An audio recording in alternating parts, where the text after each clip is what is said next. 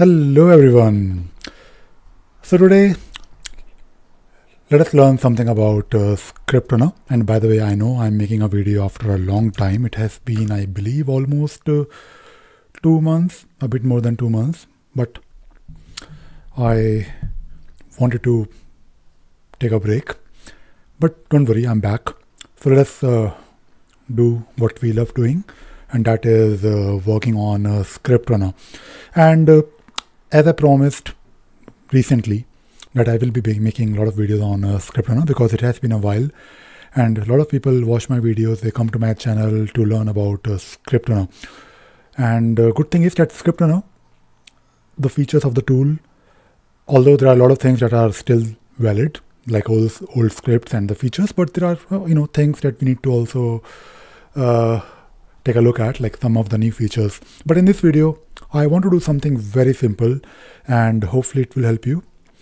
And uh, we'll of course you know do a bit more uh, complicated things using a ScriptRunner and I'm going to focus on behaviors and I want to make a few videos on only behaviors because I don't really think I've covered behaviors a lot. So let us say you want to disable inline editing of a field.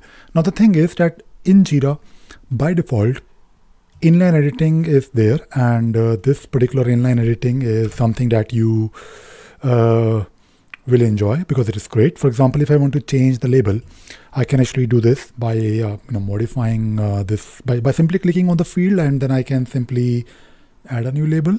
So I can add a new label, let us say design, right? And I can then type uh, UAT, whatever. So basically I can do this modification and this is great. But the thing is that apart from just, uh, I mean, in, in, in those cases where you don't really want uh, inline editing because uh, maybe you want to have uh, some validations on this field, but I will also tell you one more use case. Let us say that as part of your process, you need to ensure that uh, two fields are updated together. Maybe you want to ensure that uh, you know there is some field where you want people to update something, and uh, um, if you have inline editing, then of course you can't do that because when you do inline, inline editing, it will just uh, edit or modify a single field. But if you have, uh, let us say, a screen that pops up, you can actually, uh, you know, then add some validations on the fields that you want to check for sure, multiple fields. So in this video, what we'll do, we'll add a behavior, and this behavior is uh, basically without any script. All you need to do, if you go to script and uh, if you then um, add a behavior on the field, so basically, the moment you add a behavior, and right now I don't really have any behavior so let me add a behavior like uh, disable label inline editing let me just uh, select the uh, or basically just, just add the add the mapping. So I can uh, add a mapping for demo project. And it is all, always you know great to you know have this mapping. So you are only doing it for that particular project or maybe for a specific issue type as well.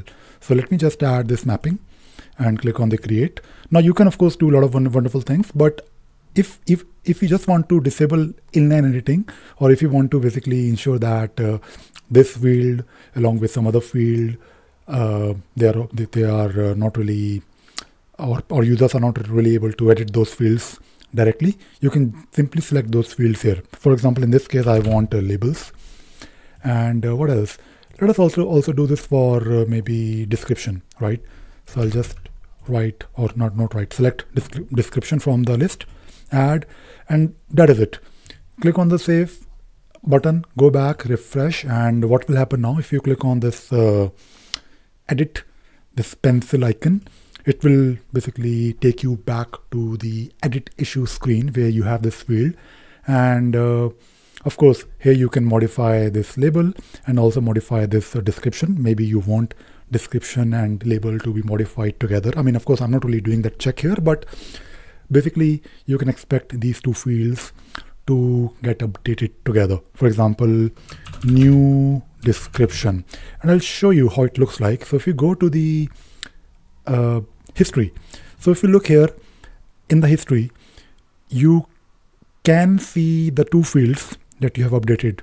And uh, this is something that you can expect because uh, there is a pop-up screen like the edit screen which is useful now if you click on the edit again let us try.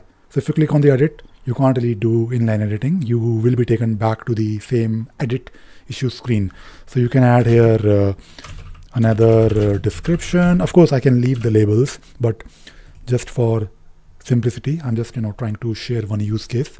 Let us say there is a new label called as uh, what else? Uat right? And if you click on update and if you go back to the uh, history you can see these two fields together. So this is something that i thought i'll probably share but uh, to disable inline editing or to ensure that uh, you want if you want people to update two or multiple fields together you can then first add a, like like a behavior and then of course maybe you can add uh, some uh, scripts on top of it. But in this video i just wanted to share this very simple thing and uh, i hope i hope you enjoyed watching this video and you also learned something new today thank you very much. Bye bye